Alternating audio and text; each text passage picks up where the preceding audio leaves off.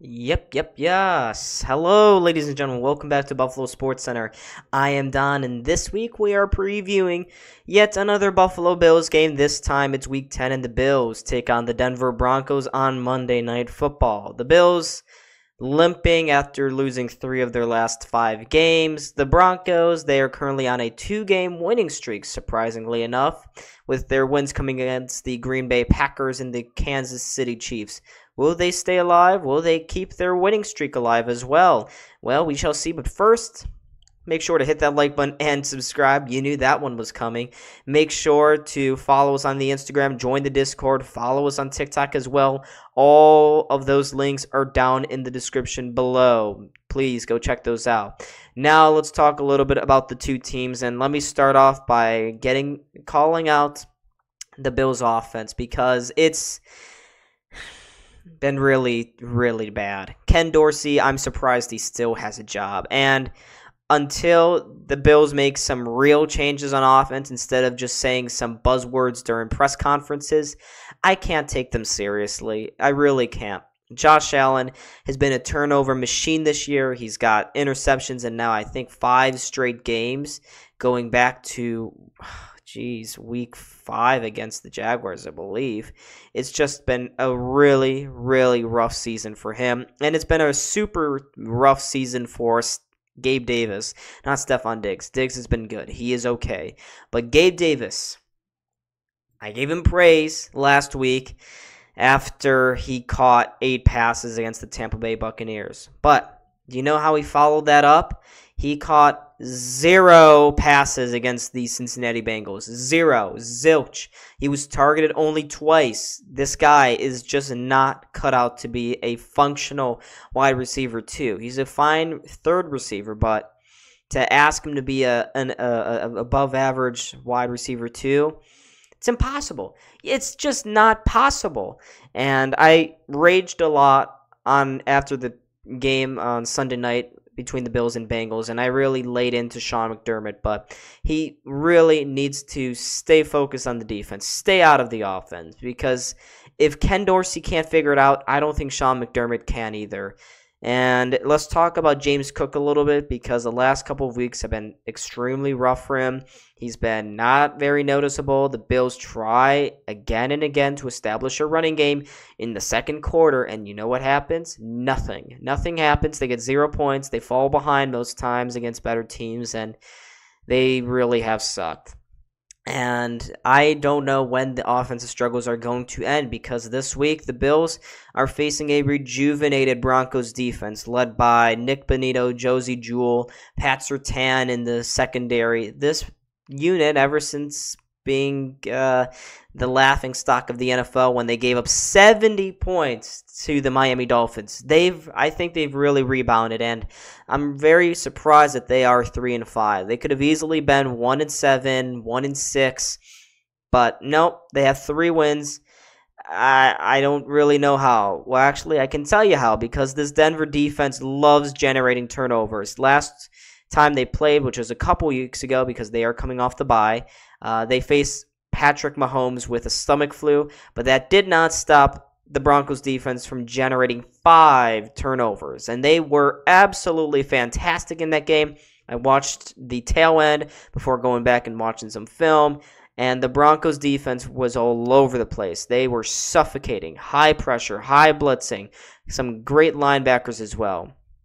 You know, I really wish the Bills had some decent linebackers because looking at the Broncos, their linebackers are making a world's worth of difference for this team, especially since, well, ever since they've lost Kareem Jackson to another suspension after yet another dirty hit. They actually have gotten a little bit better. And if it weren't for an offense that really has struggled over the last month or so, this team could be 500.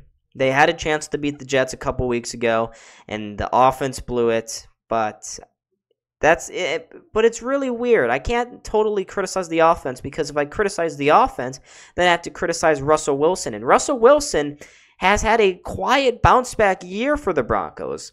Against the uh, Kansas City Chiefs, he had a couple of touchdown passes. He's currently leading this two game win streak for the Broncos, and he only has four interceptions this year. He's got a touchdown interception ratio of 16 to 4, a 101 quarterback rating, 600. 1,613 passing yards and a 66% completion percentage. So for Russell Wilson, individually, it's been a good year for him especially after the horror show that was when Nathaniel Hackett was the head coach. But Russell Wilson under Sean Payton, he's been much better, leagues better. The problem is the supporting cast around him hasn't been very good. Jerry Jeudy and Courtland Sutton. Courtland Sutton, I will say, has had a couple of good clutch t- touchdown receptions, but they're not really generating consistent yardage in open play. The tight ends, not too much of a factor. Now, it does help for the Broncos that they are finally seeing Javonte Williams fully recover from his big time injury last year and he had a large workload on a couple weeks ago against the Chiefs. He had uh, 27 carries, 85 yards. That's only three yards per carry. But that is a promising sign for the Broncos, especially after you only had 10 carries, 12 carries, seven carries uh, in the games preceding that. So Javonte Williams got much more involvement this past game against the Chiefs. That's good for the Broncos because the defense playing as okay as they are, the Denver Broncos' offense they don't really need to do a whole lot. They just got to hope that their defense continues to generate turnovers and that they just have to finish. And against the Chiefs, they finished their drives. Despite them not really imposing themselves offensively, they were able to finish drives off of turnovers when they were playing with short fields. So that's a positive.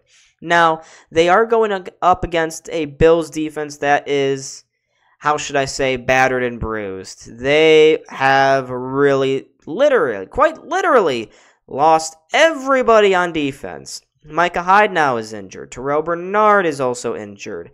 And that's already on top of Daquan Jones, Tre'Davious White, Matt Milano, and a bunch of other guys already being injured. Mm, they're pretty significant injuries as well. So this Bills defense they can't catch a break.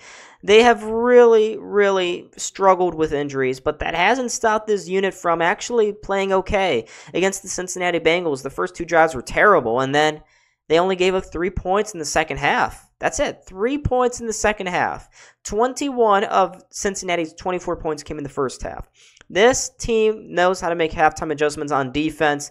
At least Sean McDermott can lead a defense. I don't know about an offense, but he certainly can lead on the defense. And I will give my props. I have hated on Dane Jackson, cornerback for the Bills in the past, but against the Bengals, he played extremely well. As I, I thought Rasul Douglas also played well, but Von Miller has not. Von Miller missed what could have been a game-saving tackle on Sunday night. Now, would have it made a huge difference in the long run? No, the Bills were going to lose the game anyways, but Von Miller has just been totally invisible since coming back from his injury.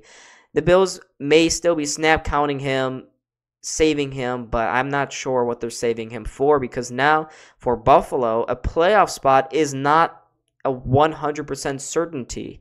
They are going to have to fight for a wild card position because the division also appears to be gone. Even though the uh, the Bills are only a singular point behind or single game behind the Dolphins, it doesn't look good. But folks, thank you so much for watching. I was Don let's see a little bit about the BSC panel because there's only four of us this week, but that hasn't stopped them from making some very bold predictions. Thank you so much. Let's check it out. Don't allow the big plays down here. Allen running out of time. Tripped up. Sidearm sling to Diggs, and he. Fake it to Diggs. Allen to the end zone, and a lunging grab is made for the touchdown. It is